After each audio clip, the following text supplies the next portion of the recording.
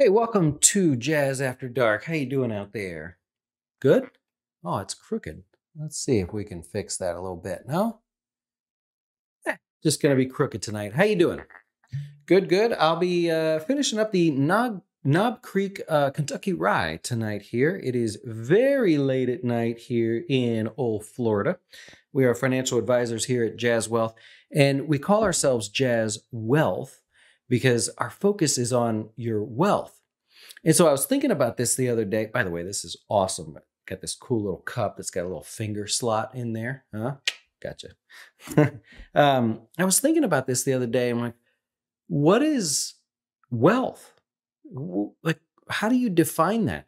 I see clients, we literally have thousands of clients all over the United States and Guam and Puerto Rico and that are stationed overseas and stuff. And I think, what what does it mean? Like, there's no singular way to say that's wealth right there. Go there, do that. Oh, not really. And so, what spurred this on is, um, if you don't know, I uh, I go meet clients eh, on the weekends and stuff, and uh, 2024 is going to be a big year for that. I'm going to be going all over meeting clients and everything, and uh, I'll let you know where I'm at. We'll come hang out. We'll try to you know have a little get together or something. But I was thinking there's no real way to do like a class that's like that's wealth you know this is what you need to aspire for because we all have things that are different. And uh, like i said i was speaking to a client i was in georgia uh, last weekend and they were describing wealth to me and i was like boring you know this has nothing to do with what i'm into as a human eh, or as me dustin. And, but to them it was really important and they were almost like teary-eyed about how life had tried to stop them from getting to these goals. And for them, it was a much different picture than what I had ever accomplished or what I want to accomplish. And I thought, well, you know, that that's so interesting because to me it sounds boring. To them, it's like, if they can't do it, then what are they here for? And so when I was talking to these clients, I'm like, how do you guys define wealth? You know, we, we don't have to rush. We're just sitting there. We're actually on their patio. And uh, we were just sitting there and I'm like, what, help me out. Like, how do I better understand that? Because I see wealth in the eyes of the individual based on how they're achieving their goals. And I think any financial advisor, planner, or whatever, just they just want to help you get to their goals. So th- there's nothing wrong with that. And when I was talking to the client, they were like, well, as we started making more, we noticed it got harder for us to uh, sort of maintain the savings that we had, right? And so this is kind of a rant here, by the way. And I thought, well, okay, let's talk about that. I'm like, did by chance, did you ever lose a little respect for one singular dollar? Did, did that happen? And they, they laughed. They, they were sort of, at this point, they had kind of gotten teary eyed about some of the pains in their life. And they were like, you know, it's funny you say that because we didn't necessarily buy fancier things. We just shopped at the stores that were closer. Our groceries became more expensive, right? And I said, you know, I noticed something years ago, uh, many years ago. I had my highest earning year ever. And it wasn't here at Jazz Wealth. I was uh, teaching Chinese investors how to invest. And part of my job was I had to invest in front of them. So this was all live and happening. And I had to show them that I was making money, therefore you could make money. And that sort of focus made me have a really great year. And so in that year, I lost respect for a dollar. I all of a sudden was like, can we get the toothpaste that whitens your teeth? Not the normal cheap stuff that we get is there really a difference? Like, who cares? right? But I, I remember those things vividly. And they said, yeah, we, we kind of did lose a little, if, if we're being honest, we lost a little respect for the dollar. And so I was telling them, I'm like, you know, I think there's, call it what you will, but I think there's something out there that says as soon as you earn more and you lose respect for the day to day dollar, those dollars aren't long for your life. Is, is that weird? Does, does that sound odd a little bit?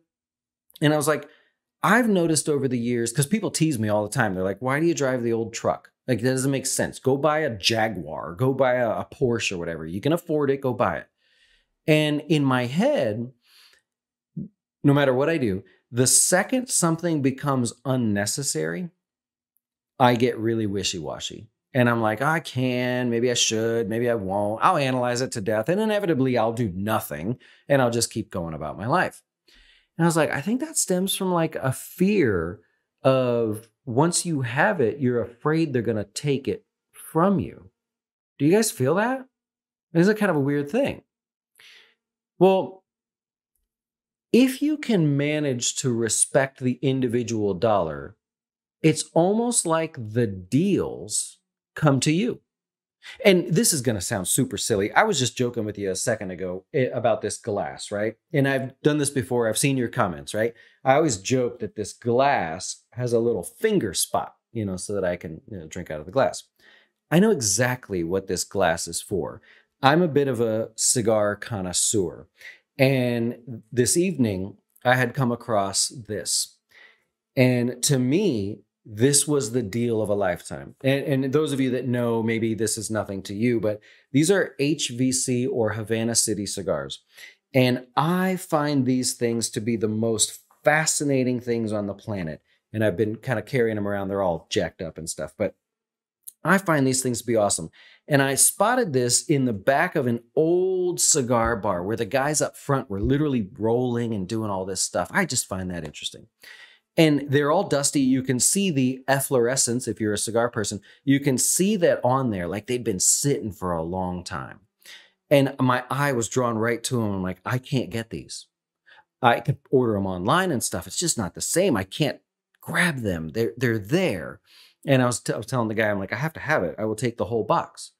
And the de- so what worked out being is he was like, I will give you the deal. I'll just I'll let you have it for what it costs us. You're here. I appreciate the business and all that.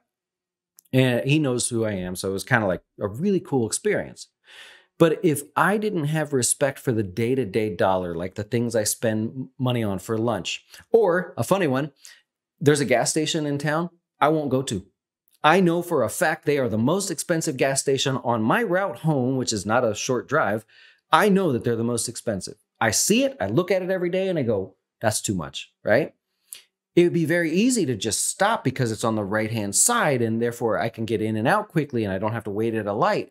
But I won't do it. You know what I mean? And so these deals come across.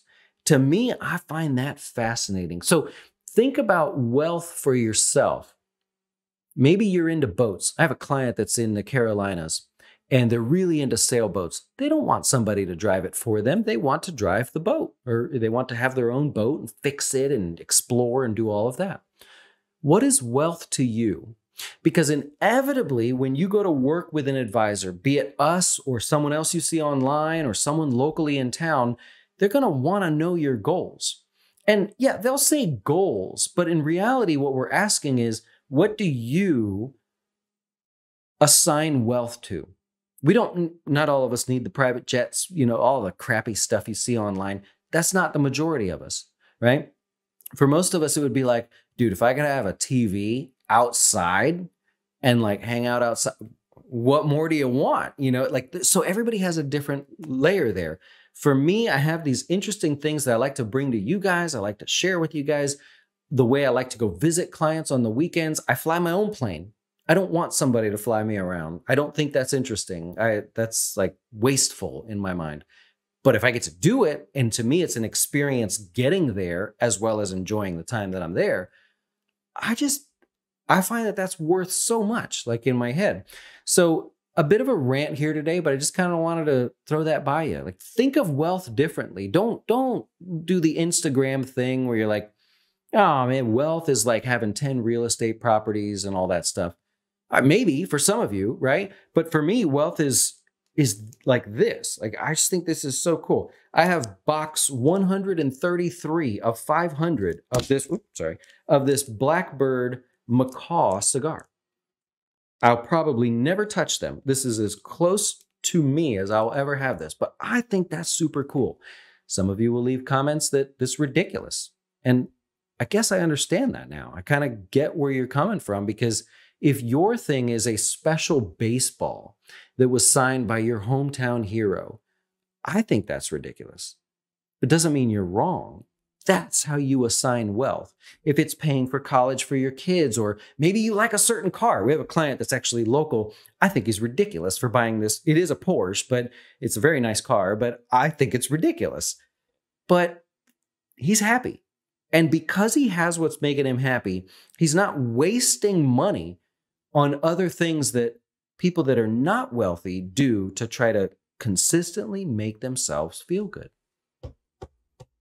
Did I hit something on the head there a little bit? Hmm? Knob Creek Rye. That is very good. And it's almost done, actually. So we'll be moving on to something else. Anyways, just a little bit of a rant tonight. It just kind of struck me different. I don't know. There's something about talking to that client that's been ringing in my head throughout the week. And I'm like, you know, they may have it right. Maybe I just have little things. I'm so focused on work. Maybe I'm missing out on this. I don't know. Anyways, let me know what you think below. What is wealth to you? What does it mean? Don't be afraid, to Just share it, whatever it is. Maybe it's going to Burning Man once a year and that frees you and you're able to go back to your job that you hate or whatever. I don't know. Eh, I've heard it all. You can't like embarrass yourself in front of me, but let me know. What is wealth? Just curious. All right. See you guys later.